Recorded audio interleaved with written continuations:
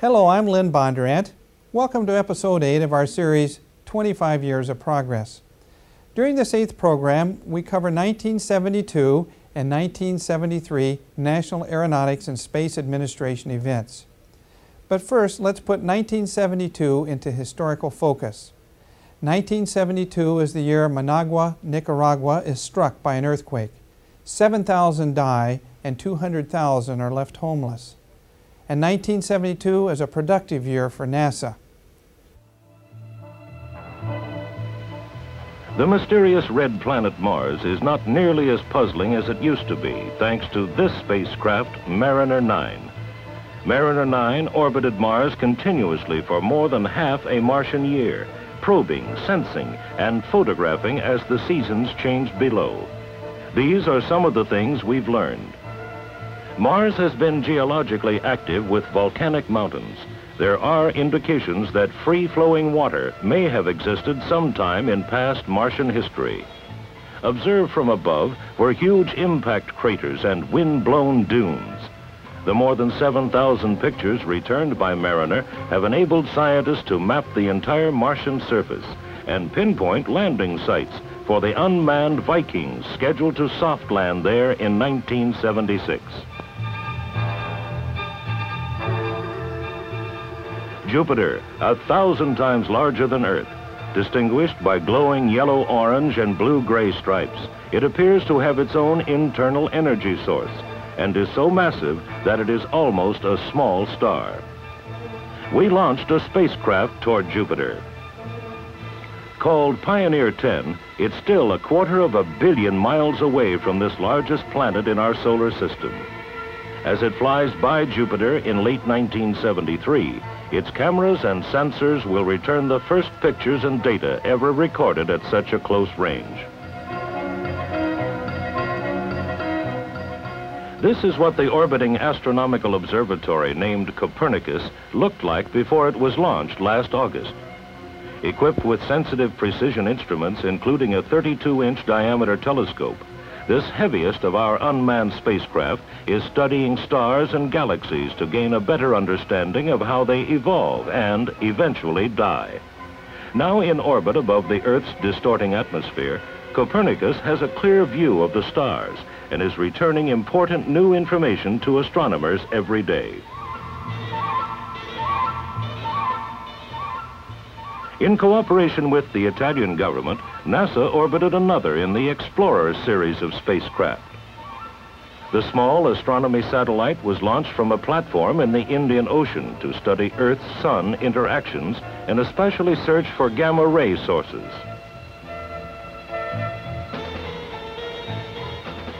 84 sounding rockets were launched from NASA's Wallops Island station in Virginia and other sites with payloads to study phenomena affecting the Earth's atmosphere. These small, relatively inexpensive rockets are telling us a lot about near-Earth space below the region where satellites orbit. A comprehensive program to study and make better use of our Earth's resources is in full swing.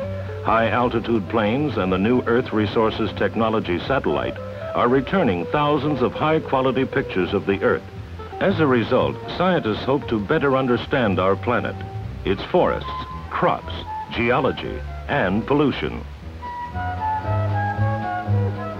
A new Nimbus research and development weather satellite is taking the first vertical temperature readings from space through clouds.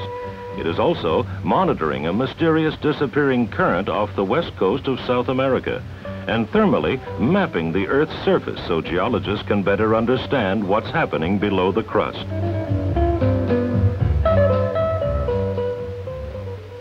Two commercial communication satellites were launched for the Communications Satellite Corporation. Adding new telephone and television channels, both craft become part of the global communications satellite network. The A in NASA stands for aeronautics, with a wide range of projects underway. For example, this airplane is equipped with a digital computer that was developed for the flight control system of the Apollo lunar lander. Its use in planes of the future should make air travel smoother and safer. Many aeronautical problems are studied in NASA wind tunnels without having to test full-size planes. Engineers can, for instance, test a tail or wing section to destruction. Knowing in advance where structural weaknesses are makes it possible to design out many problems before the first plane is manufactured. To help relieve airport congestion, NASA is test flying short takeoff and landing planes like this one. STOL planes, as they are called, need very little runway to either take off or land and may play an important role in providing convenient short-haul intercity transportation.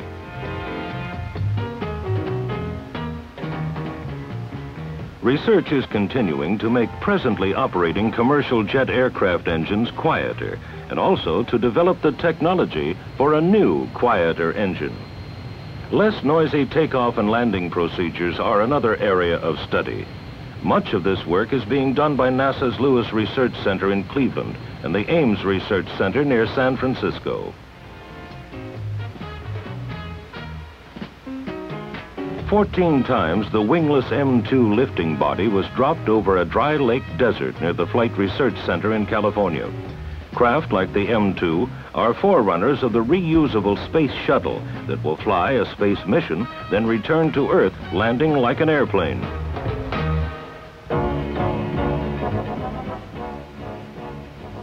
During his visit to Russia, President Nixon signed an agreement with Chairman Kosygin of the USSR to conduct an Earth orbital rendezvous and docking in 1975 between a U.S. and a Russian spacecraft. Engineers from both countries have already begun working out the details of the mission. To help pave the way for the longest Skylab mission next year, astronauts Crippen, Thornton, and Bobko spent 56 days locked in a 20-foot-long altitude chamber at the Manned Spacecraft Center, Houston. The purpose was to collect medical data, which can be compared with that collected from the real Skylab flights. Skylab crew training and spacecraft assembly and testing is also well underway. Skylab will be this country's first space station. It will be used as a platform to study the sun, the earth, and man himself.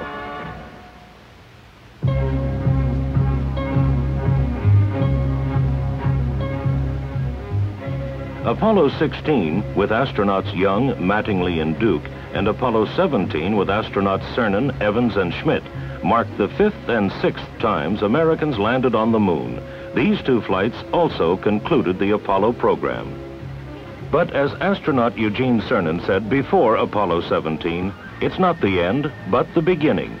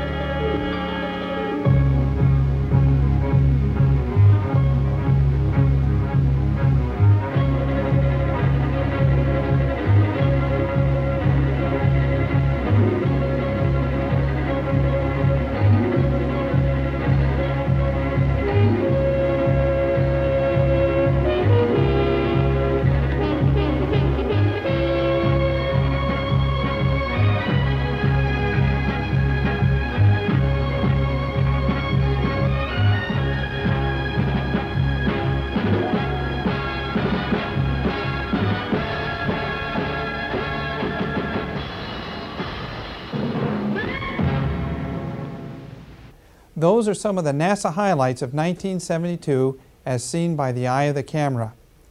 Let's put the following year, 1973, in perspective. 1973 is the year high-powered microscopes enable surgery such as reimplantation of severed fingers. And in 1973, NASA compiles a list of varied activities.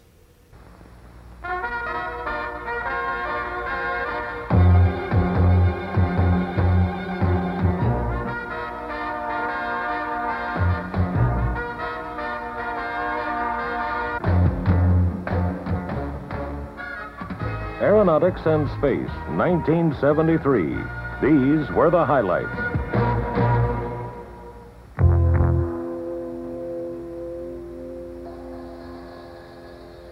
This was the year of Skylab.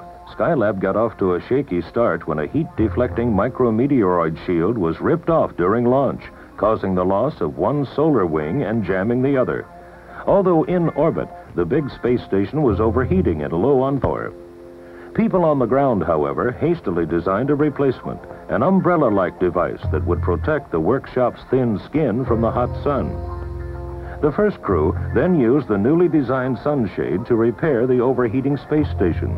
They also deployed the jammed solar wing. Result, an increase in electrical power and a cooler place to work. And work they did. Three separate astronaut crews have lived in Skylab for extended periods of time, proving that man can withstand prolonged weightlessness. By training Skylab's onboard telescopes in the direction of the sun, the science of solar astronomy has been extended beyond the limits of Earth-based observations. We're learning more about the sun than ever before. Information that may one day help us use this giant furnace as a means of generating and controlling energy for use on Earth. Using cameras and remote sensors, the crews have accumulated hours and hours of intense observations of the Earth.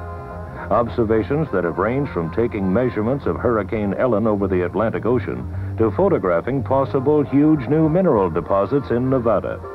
By the time Skylab ends, more than 42,000 pictures of the Earth's surface will have been taken.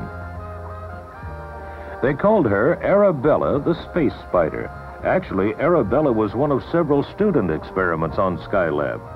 The question raised by a young high school student from Massachusetts was, can a spider spin a web in the absence of gravity? The answer, as you can see, was yes. Tiny fish were another subject for study. This Buck Roger-like backpack was also tested. The well-dressed spaceman of the future may very well get about like this. American astronauts and Soviet cosmonauts trained this year to prepare for a joint space mission in 1975. The two crews will meet and join their spacecraft while in orbit around the Earth. Beyond the rescue capability they will demonstrate, it is hoped the complex project will lead to future international cooperative programs.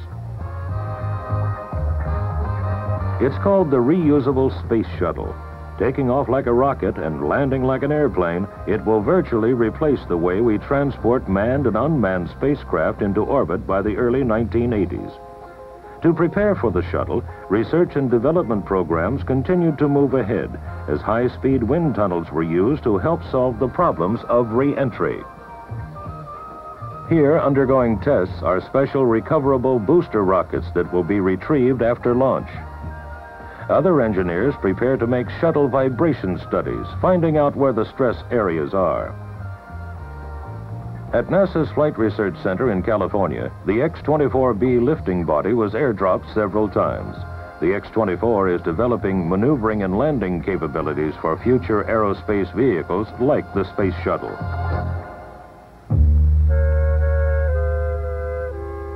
This is an artist's concept of the asteroid belt. A scientific spacecraft, Pioneer 10, spent 210 days passing through the thousands of rocks, sand, and dust that make up the asteroid belt, on its way to this planet, Jupiter. On December 3rd, after traveling half a billion miles from Earth, Pioneer 10 returned close-up pictures and scientific data as it passed within 81,000 miles of the giant planet. Data about its temperature and the makeup of its atmosphere.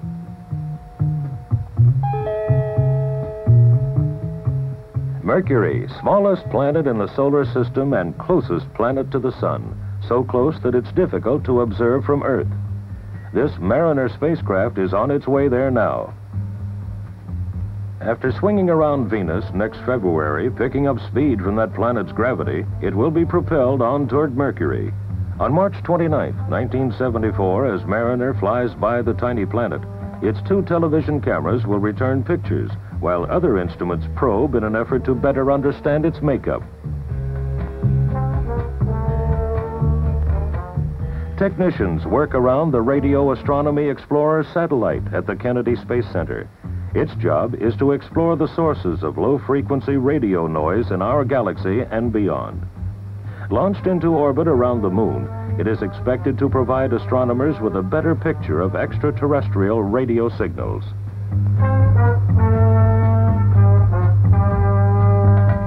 Work continued in the preparation of Viking, the spacecraft scheduled to land on Mars in 1976. Trying to answer as many questions as possible before landing on the red planet, scientists have been attempting to simulate the Martian atmosphere. Progress is also being made in preparing biological sensing devices to determine if life exists there. For years, NASA has used sounding rockets to probe the region of the Earth's atmosphere just below satellite level, but above the area where balloons return data. This year was no exception, with some 80 launches both here and abroad. Several of the launches were in support of the manned orbiting Skylab.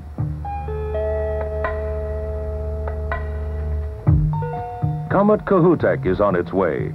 Visible between mid-November and late January, it will eventually be as bright or brighter than the famous Halley's Comet of 1910. When Kohoutek reaches its closest point to the Sun on December 28, it will have completed a journey that began about two million years ago. Four NASA spacecraft, sounding rockets, balloons, Skylab, ground-based observatories, and telescope-carrying aircraft like this will team up to form the most comprehensive comet watch ever planned. Astronomers are eager to determine the elements that make up Kohoutek, elements that should tell us more about the nature and origin of the Sun and other planets.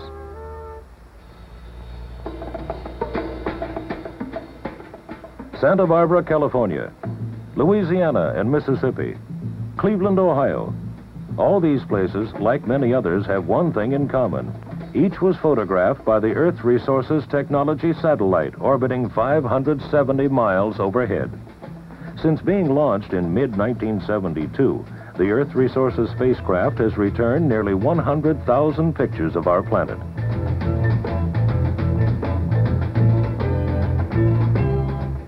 More specifically, it is proving extremely useful in such applications as land use and timber inventory, crop identification, water pollution, and improved maps. To geologists, this area of California looks like this when the appropriate geologic information is superimposed. Investigators look forward to even more exciting possibilities for operational use in the future. For example, during this past summer, a remote sensing station was tested that can tell when conditions exist for a forest fire to occur. In less than an hour, valuable fire index data was relayed via the Earth Resources satellite to the California Division of Forestry headquarters in Sacramento. The highly successful experiment has important implications for those areas troubled by forest fires. Helping verify images from spacecraft are the U-2 high-altitude Earth survey planes. Flying at altitudes of 65,000 feet, the U-2 has evolved into a sophisticated research tool in its own right. These are just a few of the high-quality pictures returned. Pictures that have spotted smoke from forest fires in California and helped survey the extent of damage done by tree-killing tussock moths in Washington and Oregon. The Lewis Research Center in Cleveland is scene of a program to explore and demonstrate how navigation of the Great Lakes may be extended year-round. Ice maps are made with the help of a reconnaissance plane on loan from the U.S. Army. Its special radar provides detailed images similar to black and white photographs. Another plane records ice surface temperatures. NASA scientists also regularly fly in Coast Guard helicopters equipped with a type of radar that measures ice thickness. To verify these instrument measurements with actual conditions on the ice surface, samples are taken along the flight path. The system is expected to be in use this winter, making it possible to extend the shipping season and potentially saving millions of dollars.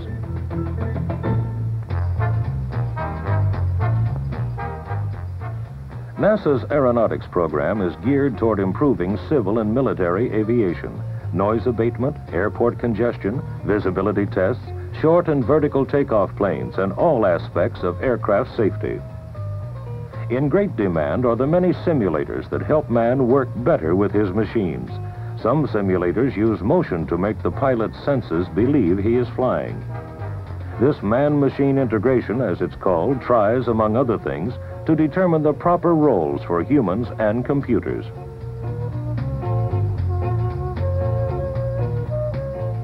Emphasis continues on the rapidly growing class of planes used by individuals or as executive aircraft.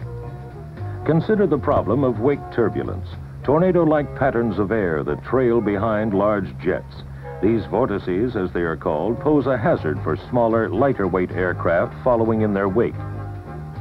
Through laboratory and wind tunnel tests and actual in-flight analysis, NASA is studying ways to break up the whirling air masses, eliminating the danger to smaller planes. A research program is underway to identify acceptable airplane ride qualities. These passengers respond to a variety of vibrations and motions without actually flying. Simulators like this one at the Langley Research Center are used to study passenger response under controlled conditions. The simulator work is correlated with flight tests at the Flight Research Center. Volunteer passengers read, write, eat, and drink, typical passenger activities. During the flight, they evaluate the degree of motion and electronically record their rating. The U.S. Army Flying Crane helicopter is a unique machine. When the helicopter developed excessive vibrations under certain payload conditions, the Army was assisted by NASA in solving the problem. The solution developed involved bonding stiff, lightweight boron epoxy materials to the aluminum frame. The process eliminated the problem and provided a weight saving of 60 pounds besides. So successful has the composite materials program been that test applications are planned for the wing, rudder, and aileron components of large transport aircraft. At the Flight Research Center, test pilots are flying a plane without having to leave the ground. Actually, it's a new way of flight testing advanced aircraft that's both more economical and less hazardous. A typical flight involves air launching a large-scale model from high altitude. A research pilot in a realistically recreated cockpit on the ground, complete with flight controls, flies the remotely piloted craft using computers and television. The television camera is installed in the model where the pilot would normally sit. This view is then transmitted to the test pilot. Since the research pilot on the ground has direct control over the model, he is able to perform high-risk flight maneuvers such as stalls and rolling. At the end of a typical nine-minute test flight, the model is lowered by parachute. In the final stages, it is recovered in midair by a helicopter and brought gently to the ground for reuse. Speed and fuel consumption. These factors have great impact on the design and performance of future aircraft. This Air Force plane, the YF-12, is being test flown to study such things. Other areas of research include heating, flight stability and control, structural dynamics, gust response, and since the plane cruises at three times the speed of sound at 75,000 feet, the physics of the Earth's upper atmosphere.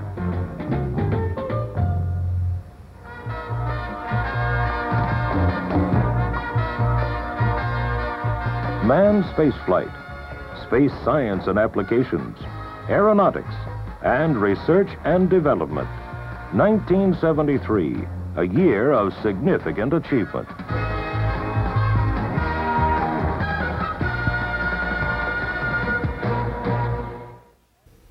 Those are some of NASA's 1973 highlights as seen by the eye of the camera. Next time, we will cover NASA events from 1974 to 1976. I'm Lynn Bondurant.